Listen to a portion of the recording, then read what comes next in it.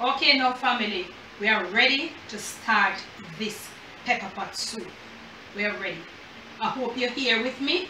I am here with you. I hope you're all here and I hope you're all in on what I'm going to be doing. Now, this is a part of what would make this pepper pot soup authentic.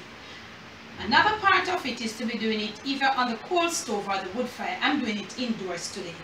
But as I go along, I'll show you the little parts that will, be, will make mine authentic. Mine is not an 100% authentic.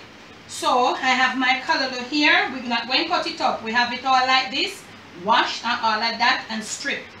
Now we would use, this is plantain though, but we would use a piece of plantain or banana string to tie it back in the days. We want a long piece, but we want to grit it more than one time. So you would use you cannot get these in foreign, you see? So you'd use a piece of kitchen, you know those kitchen, kitchen strings that they use to tie your meat and all of that when you um when you're doing your your roast, you know, kitchen strings.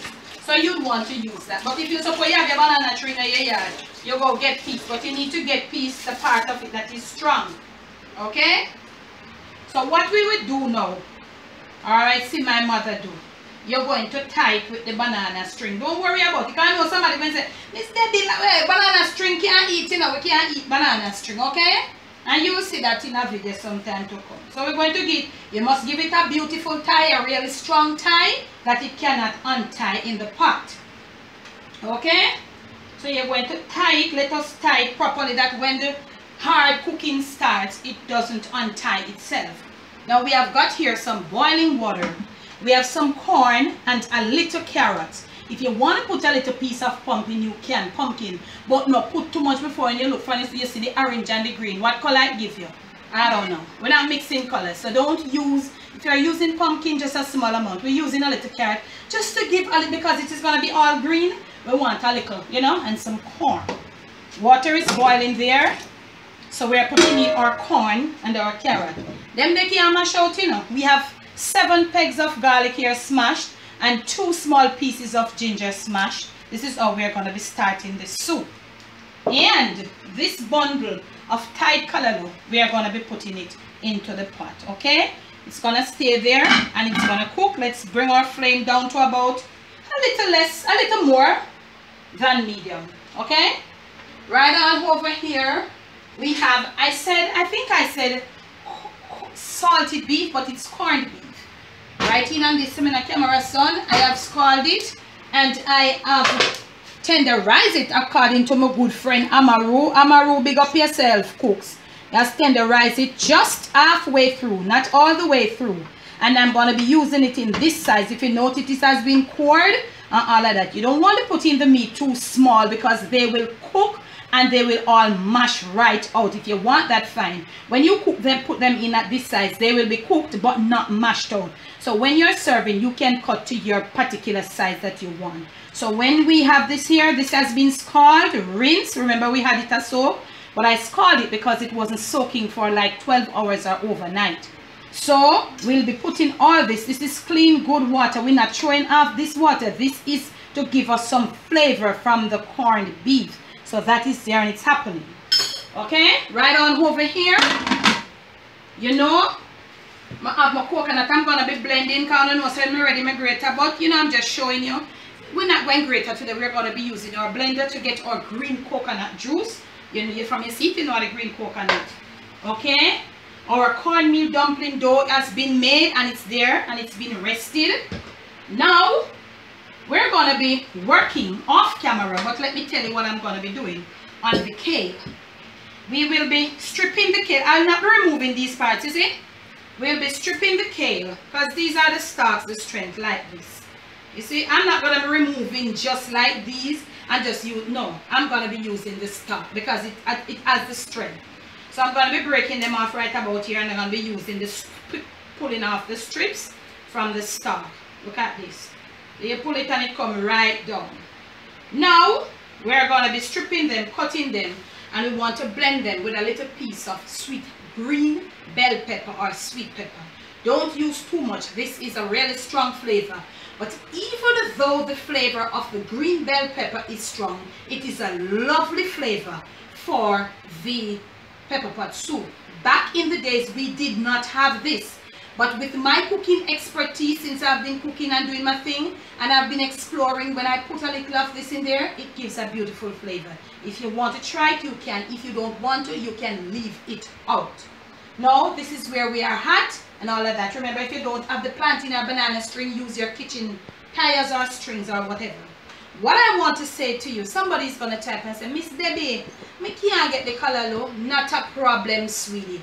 If you can get collard greens, use your collard greens with the cane. Because I know say, some people just cannot get the Jamaican callaloo. Oh, you forgot book flight for come to Jamaica for come get color for go back a foreign for go make color soup. No, sir. So you can use your collard greens with your kale and you'll get your perfect flavor. Hello, when you do the collard greens and the kale, you need to send some for me and you need to put it up on Instagram, please.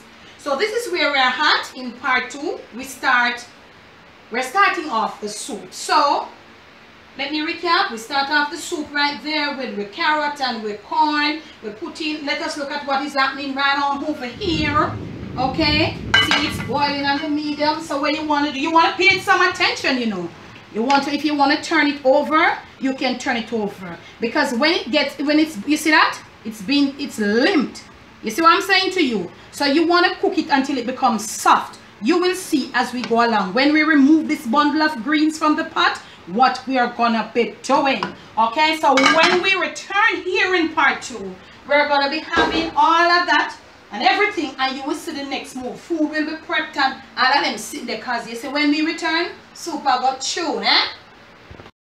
Okay now family we're on to something right here so look at the pot. Shoot them up camera son shoot them shoot them up you see what happening inside there so look here we want to take out this bundle of color we don't want it open up you see the thing hole the string hole all right you see where it come down to this is what it comes right down to.